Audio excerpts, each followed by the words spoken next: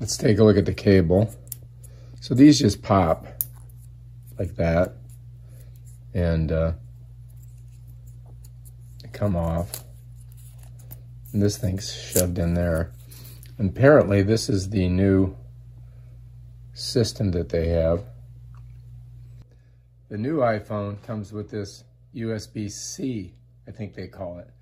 And here's the difference between a regular USB and the new cables that you're getting with the new iPhone Pro Max.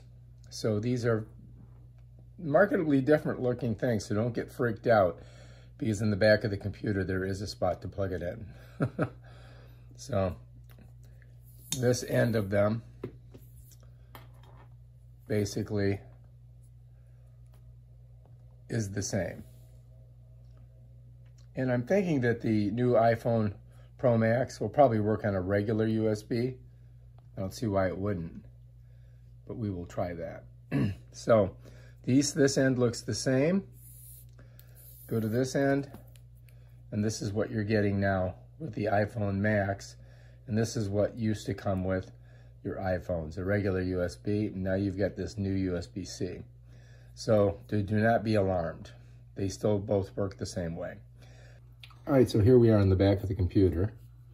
We'll just put our one USB in. And then let's go ahead and slide this one in over here. I guess it just goes in. Like that, bam, done. So now we've got two of them in there. Check them out. Here they are. And uh, I guess we'll find out how they work. That's how you uh, plug them in. All right, so the USB-C cable, of course, has a lightning end on this side, which all the iPhones fit and iPads. So you just kind of plug it right in there, just like that. Bam, whoops. And it makes a little snap. Touch it, and there we go, we're in. I'm 90, I guess I'm 90% charged. So that's how you hook it up to the phone. And then of course back here, it's plugged into the um, USB-C port. And there we are, bam.